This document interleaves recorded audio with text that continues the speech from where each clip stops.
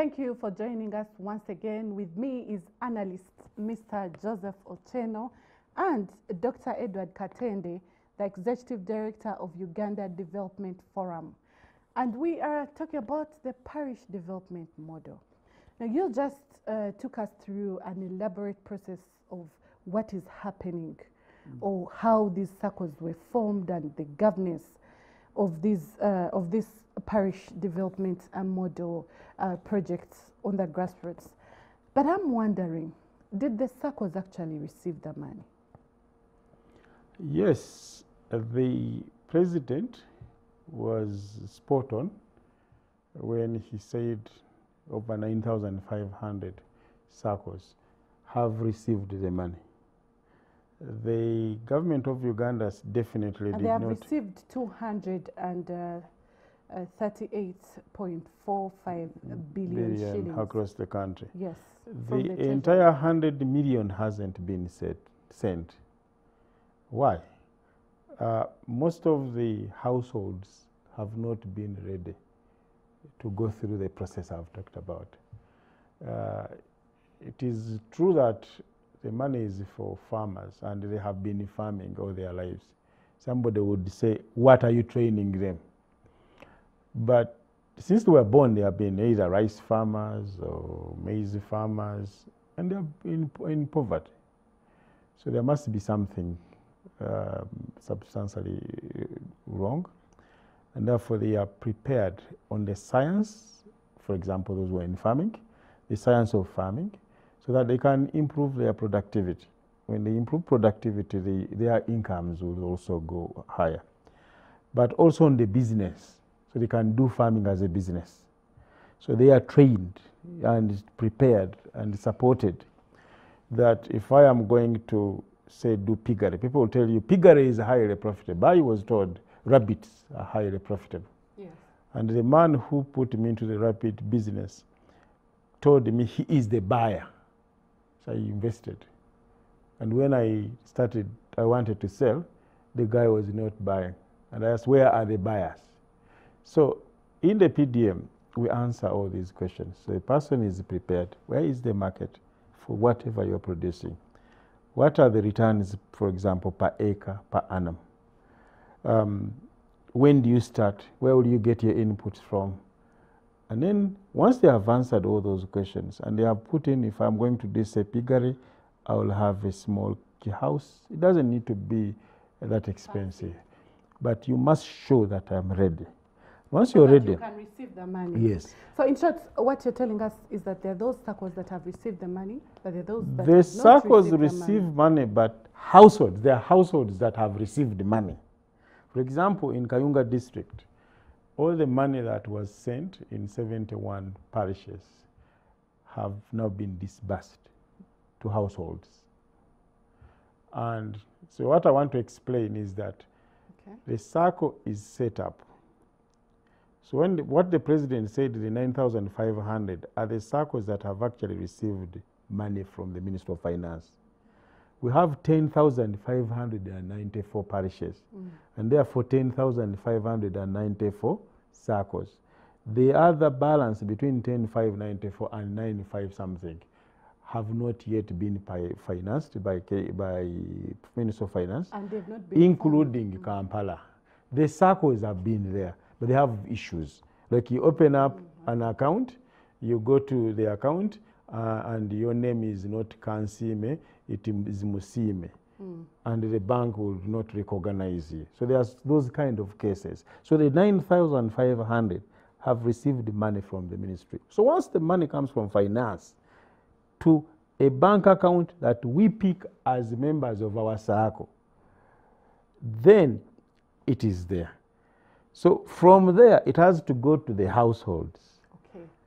Yeah. That's the disbursement. So these households must also show readiness to receive that to money. borrow the money Yes. because it's a bank we are setting up at the parish level. I like the emphasis Yeah, and on, it on must what lend- this money must Uh, do. It must lend to those who are ready. It's like Holy Communion. We all attend Mass, but those who are ready are the ones who, who go for Holy Communion. So even this one, it's, while it is available for everybody, it is only going to be accessed by those who have been well prepared and are ready to invest immediately. Okay. Mr. Otieno, you have had Dr. Edward talk to us about this uh, PDM and has explained to us how it is working and um, how the SACCOs have received money and how they are supposed to be transferring it to the households, or some have even already done that. Do you think um, that the approach to this entire process has been well done, first of all, and that it is indeed going to be beneficial to the households that are receiving these monies? Or whether or not it was necessary. Um, no, uh, I don't. And um, uh, because it's my money, it's my father's money, it's my grandfather's money, and my grandfather worked very hard for this country so that my great grandchildren should live a decent life. And my father and others tried very hard to make sure that we lived reasonable lives and that I'm privileged to know um, when I was growing up what was happening in the villages. And I see with heaviness what's going on in the villages today, particularly amongst the poorest of the poor. And uh, my good brother here is quite right to talk about it from the context of Holy Communion. And uh, if it's actually Holy Communion, you can actually see how scary it is uh, for those who fall by the wayside. You know, I'm a leftist, I'm a progressive left socialist. Uh, I'm a believer in big government, and so therefore I'm anti-neoliberalism. And so for that reason, I believe that governments should be there to create enabling environments so that the struggling majority of our population, usually in the rural spaces, uh, should be uh, protected. While this attempt to be able to do that, it seems to be doing to them what uh, uh um, uh, has already been suggested is a creation of a, a, a, miraculous bank from nowhere. All of a sudden, in amidst your poverty, you need to learn how to run a business. You need to learn how to run an operator committee. You need to learn how to say, I mean, to, to, to, to, to, to, to count. And you need to learn how to work initiatives, including how to create um, a functioning business. And in this case, if I look at my Tanina, Gongera, Mawundo, Sesera, the neighboring villages, um, for me, I will do coffee. My father did some fantastic coffee at home and some oranges, but uh, it's being suggested therefore that um, the neighboring family will do tea. But what you're talking about is what the president has been saying. And, and, and, I'm, and I'm qualifying his point, and you'll see where I'm going to. That if that is the case, then it means that out of this miraculous stuff, uh, in my rural Nagongera, we're going to find how people doing piggery, chickenry, and everything else. Now, to the extent that all these other items are going to find market, to the extent that all of a sudden these guys are now going to become specialists in, in business operations, it's, I suggest a wait for me for the next 18 to two years. The underlying thing is, as I teased on the question of cooperatives, was really very much that it's an attempt to um, reintroduce cooperatives, except it is so cheeky because NRA doesn't want to give credit to anybody else to simply say that, well, this is a program that we killed and we are trying to come back to it. But they're coming back to it in a wrong way. The cooperative movement, which should really be a very sensible program if linked to this, you realize that a cooperative, you're producing cotton, you're producing tea, you're producing coffee, you're actually producing groundnuts. But here we are saying we're actually not sure. Uh, you need to learn how to do it first. And so I, I really think that um, what government needed to have done with all the programs, and I was having a conversation, I'm privileged to know a few people who were original ideas of this program, by the way, as friends. Uh, uh, um, and part of the conversation is this what happened to Emyooga? What happened to Bonaba, the other thing? What happened to all the other programs that have been going According around the country? According to the president, so they are working. Did they work? They are working. Okay. They are so, still so, on. So they are, since he's on. not here to answer, let me just give you my thought because I, I am just mm. perusing through uh, mm. his speech, and I just thought that I could read for you that part where where Mr. Museveni says all his programs are miraculously working, so this is a top up now. It no. could as well become now the bank, indeed, nothing else. No. Mm. Um, um, he is talking about uh, the model of mm. how the four acres model group where uh, he says that it is the four acres model group that I decided needed grants or soft loans direct from the government. We started with Entandikwa, PMA, NAADS, all that is Operation Wealth Creation, and now PDM. These efforts were for agriculture. With the non-agriculture or broad spectrum activities, we have put in place the following. Those are uh, the other, he's talking about the Women Fund, the Youth Fund, the Microfinance Fund, the Emyooga Fund. But uh, these funds are in place, and the kind of thing that you're talking about is this four acres model I- I- that the president is uh, talking about in his, that is uh, an excerpt from his speech that uh, he made during his address to parliament on Thursday. You're very, very religious to believe what Mr. Museveni is saying because I don't know which world he belongs to. And you may be like, I don't know which world Yes. uh, uh, you retire to out of Kampala. I happen to be from a space where I do not see any program, and this is official. yes. I do not see any specific program in my Nagongera, of Tororo, of Bukedi. Maybe that's why we're amongst the most poorest districts, number one. Number two, because I'm UPC, I'm lucky. I travel around the world and I around the country and I talk to people. I have been to the north, I've been to the east, I've been to the west. Of course, granted, I know some place, place in the west without prejudice that don't necessarily need this one million shillings. No, on a serious note, what this country needs, uh, and I hope this PDM, because our money is already gone I hope it works. And uh, to, to, to, to, to, to, to best wishes in your program. This country needs money invested, and I keep on repeating that these days, I don't people get it. Government to invest in our health services, grassroots health services. Government to invest in the rural education. As of today, I've been actually dealing with three cases of primary education where struggling children, not my close relatives, but I just want to make sure that they have some possibilities that they may see a scent of what I went through in education. we don't have the universal um, primary education. I- I- Universal primary is one of the most disastrous thing, and by the way, remember, it's the UPC program. But the way NRA, NRM design, programmed it is amongst the most disastrous thing, where children are going to school and completing P7 and they have no clue what their middle names are. Uh, children going to rural schools, including the school in which I went to, there is absolutely no possibility But that our they'll go to the program. literacy rate has increased. But Uh, no, uh, no, I, I want to hold it there, no, wa- yeah, Joseph. yeah. Let me um, uh, bring in uh, Dr. Edward here. And um, I would like to know, have you received concerns whereby the SACCOs did receive the money, it is on their accounts, but they're not able to use it? Have you heard of such cases? Yes, uh, there are actually many circles that have the money, but the households uh, in Nagongera, they have the money in across Tororo, in Bukedi, but the households have not yet accessed No, that I money. mean the money is there on the accounts. Yes. But even if the circle wanted to uh, withdraw it and send it to these households, they cannot do that. Have you gotten cases like that? Uh, not that I have that heard the, of. the, the money is there, it is on the accounts, but they can't. Why? No, it Actually- is your why? money. Because, because Dr. Katende explained that. Yes. Why wouldn't they? It is your money. We have, the government has sent it to you. So you, You, have, have, the only reason, the only way you may not access it is Mm. the SACCO has not yet appointed the leadership and they, they are therefore no signatories to the bank account. Okay.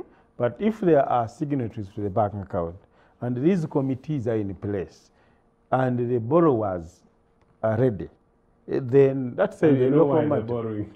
They Yes. should be able to access Eh, that money. But I wanted to, to come back to Mr. Otieno here. You have touched a very, very interesting subject because the journalists and a, a number of political friends push us to the pillar on money under the parish development model. And we forget what the parish model is. Even today, you have pushed me in that corner. The parish development model is a strategy of government of Uganda Yes. to do two things: to accelerate wealth creation and improve the quality of life. By doing what? By delivering services closest to the people. But brother, the, the, the state of affairs you're talking about in Nagongera is the state of affairs I have in Mukono, where I went, uh, I went to primary school. My primary school, my, much as I went under a mango tree, the quality of education we got was super.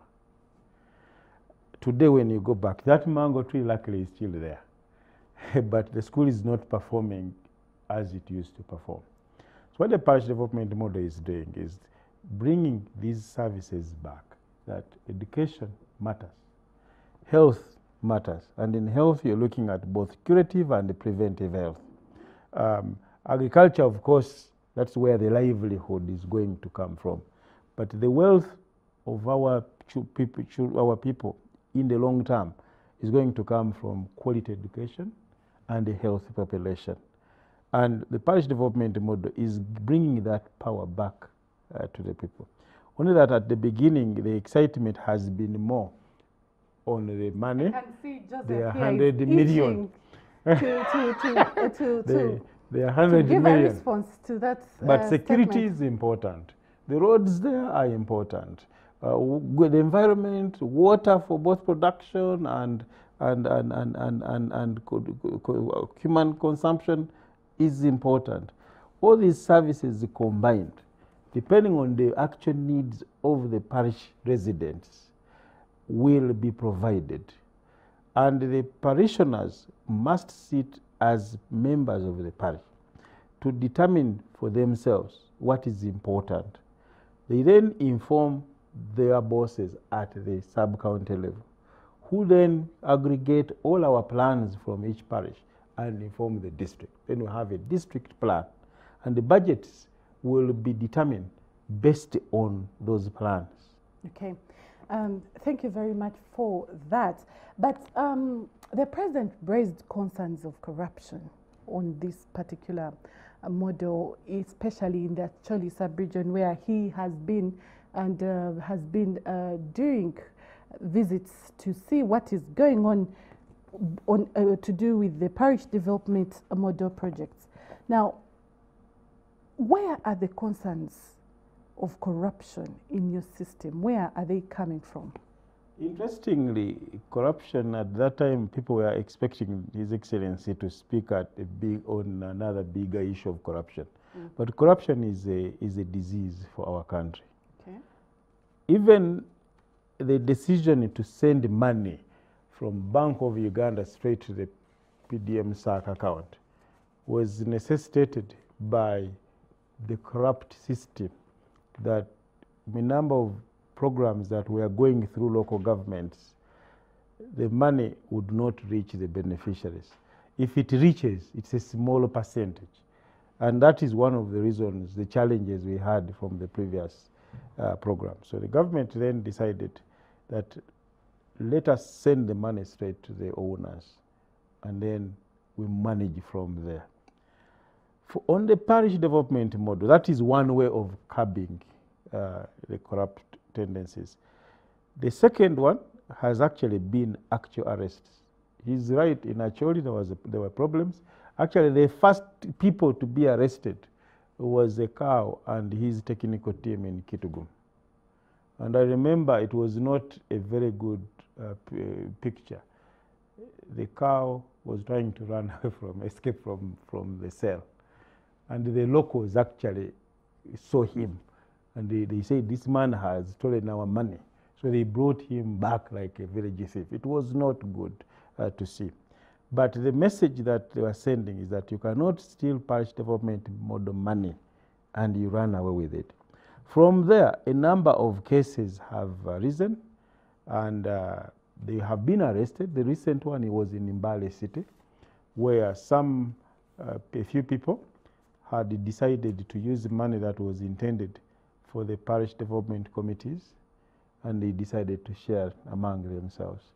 So they were arrested, and when you are arrested, you're not just taken to police and you bribe, you bribe your way out. The first thing is give us our money back. That's the first thing. Yes. And over 4 billion has so far been recovered out of a possible 4.2. And the other, the, the- all those cul- culprits who have been part of this are either on an interdiction uh, or there are other legal processes taking place, but the money has been recovered. So the president, when he says he's serious, he will, he will deal with all these people that are stealing the parish development model. I can vouch for him on this particular case based on the current evidence so far. Uh, if you're judging him based on previous experiences, it's a different matter. But for the PDM, what we know now, local government people out there fear touching PDM because they know it's the not. president is watching. Um, Mr. Ochieno here is shaking his head No. in the negative, and I would want to know Yes. what are some of the improvements that can be made to the parish development model. I, I don't know anybody, just, just a quick rejoinder. Um, there is a huge hypocrisy on the question of uh, corruption. But it's not about my brother Katen. You, you're, you're absolutely optimistic. In fact, you're nearly persuading me to, to, to think much more constructively on that. No, Mr. Museveni couldn't have done so because you can't say, see what happened in Acholi over parish, de- parish development model and emphasize what happened to those people in terms of interdictment. What about then these people who steal from the poorest of the poor? Where, where, where are the Karamoja uh, uh, uh, goats, Karamoja money, and Karamoja uh, uh, uh, Sheets money?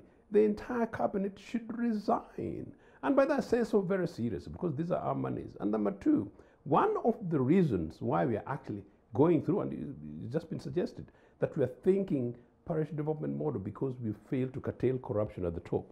So if we really know this corruption at the top, and at the top are the, the seats around Mr. Museveni, then we know really where our monies are. Maybe we should organize a Kenya so that we actually go and, and ask Mr. Mann at State House and say that, look, either give us back our money or make sure that give us these people so that we take them to Luzira. We don't want to beat them because I don't, you people don't believe in violence. You know, As we wind up uh, this conversation Mm. tonight, Mm. um, there have been cases, Edward, as you make your parting shot as well. There have been cases where uh, within uh, the circles or the households or those who are supposed to benefit, the beneficiaries of the parish development model, there have been complaints of relatives of the uh, district leadership to be the ones that actually compose of these uh, circles or households that are supposed to be receiving this money. And there have also been those complaints that the opposition uh, members have been sidelined. So, how are you going to uh, uh, advance this project in face of such uh, complaints and allegations? I, I, the allegations are unfounded. When the PDM, of course, came into force, people were used. Even the first resistance we got from government, uh, civil servants, many of them had been used to a lot of money when a new project comes in. Parish development model did not create new money. So many rushed, even parish chiefs, people who, people, people sold whatever, they left bigger jobs at sub-county level to become parish chiefs.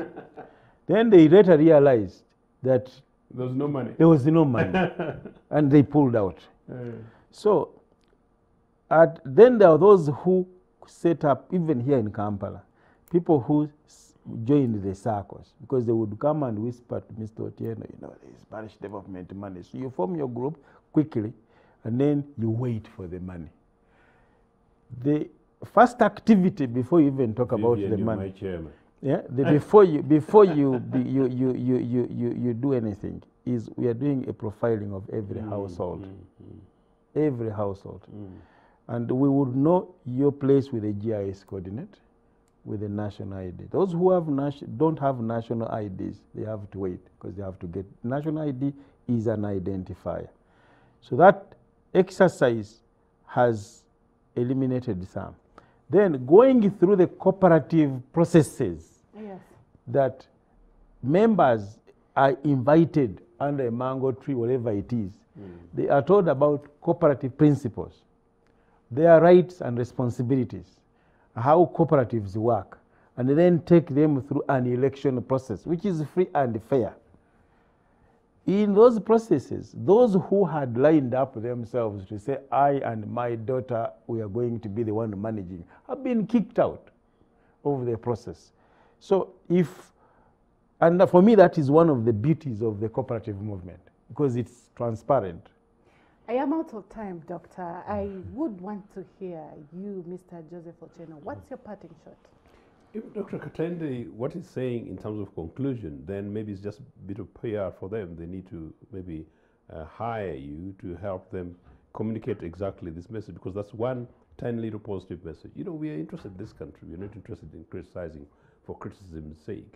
It happens to be the case that, as I said, it's a, a failure of government and so trying to sneak back the cooperative uh, processes Uh, but if they're doing so, they should do so properly because it's one our money. But most importantly, we are really more interested in the peoples of, of, of Uganda more than anything else. But I'm here as an analyst, uh, less about as a, as a political leader. But because I wear the hats of both, we just hope that these processes uh, actually succeed. Uh, from the evidence in the past, it's unlikely, but we will support it whichever way. But looking also at whatever has happened in Kenya, I think it's just the time for Ugandans to wake up under the tree wherever we are, and particularly asking people who are like you and me, meaning so called the Kampala elites or the general Ugandan elite, they need to wake up because the Kenyan elite have woken up and are able to take positions and to guide the rest of the Kenyans in going to seek to demand for that which belongs to them. It's actually a very very expensive way, but it's actually rather cheap long term. Thank you very much, Mr. Oteno. I unfortunately cannot exceed this minute, hmm. and I have to close the show.